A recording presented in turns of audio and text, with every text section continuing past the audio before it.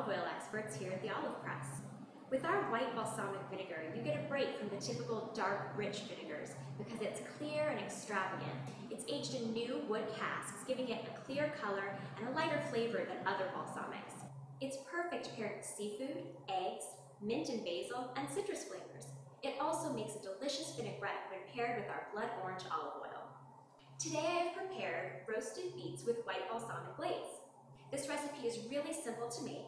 All you need to do is take some of our white balsamic vinegar and reduce it in a pan on your stove top with a little bit of our blood orange olive oil until it becomes nice and thick and syrupy like this here. And then just drizzle it over your roasted beets, toss, and serve. It's as simple as that. For this recipe and others, please visit our recipe section on our website